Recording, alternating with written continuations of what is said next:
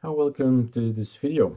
I was uh, teaching my students Arco Linux, the first steps in the Linux world, and we're talking about software. And what you do is type in the words software. And we have two elements on our systems in Arco Linux. One is GNOME software, that's this one, and the other one is PAMAC. And PAMAC is already down here. It's also a shortcut. There's a little sign here, a star with an arrow up. That's the same one as this one. Now, while teaching, I saw this coming up, then it just, well, flipped away and nothing is shown. It's actually rather a rather beautiful way to show um, new beginners or newcomers in Linux. This is the overview of all the software there is, free. Yeah, and um, it was not working anymore. So there's a little fix. We it seems we need to add uh, these days a element to be able to have that and this is about this fix. So, um, if you don't know that, how do you search for it? I use this little tool down here. So this application package manager is the same as typing software and taking number three here, line number three, add remove software. It's quite interesting to, to be able visually to say, I don't want Atom. I want to delete it. If I apply, Atom is no longer there. And so on. You can select any of those things and uninstall them. So that's easy. You also have here categories to say, okay, what is here uh, possible to install? There are Android stuff and there is um, lots of elements that you can just take a look. But the other one that's broken is better, but we can fix it better in the sense it's uh, graphical. For a beginner it's uh, wonderful it's beautiful. This is just one line canter with the text. You'll see later that the one other one gives us more images gives us feedback from the users and all that.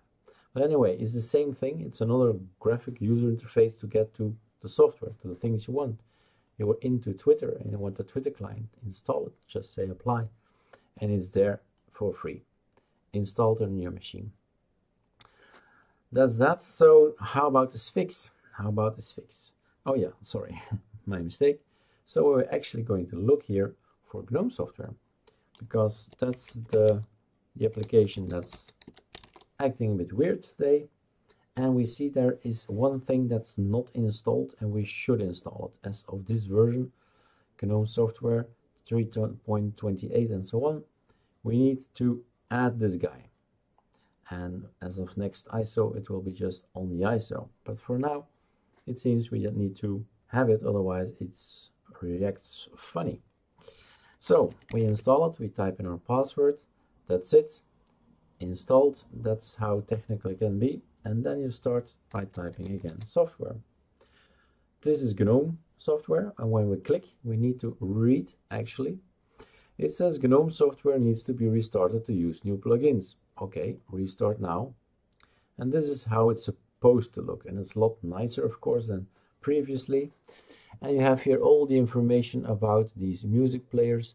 And it's easy as clicking Handbrake, install, it's installed, launch.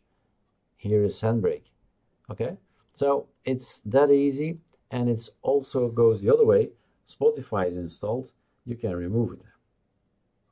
So as well, that is possible. And if you scroll down, you see a lot of reviews and people telling uh, good Spotify client and so on, not perfect. And you read, because if you've never heard about Clementine, then you have already a look and, and a second picture as well. So do you like it? Is this important to you, what it says here? And it's localized in your language. Do you want to have it in Dutch, German, Chinese, and so on? Is it important for you? I like this app, and so on. So it gives you much more information than the other one, and as a beginner, I could appreciate such things.